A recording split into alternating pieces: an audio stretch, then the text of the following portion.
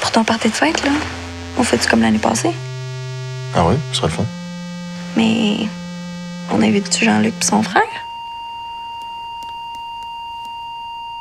Non.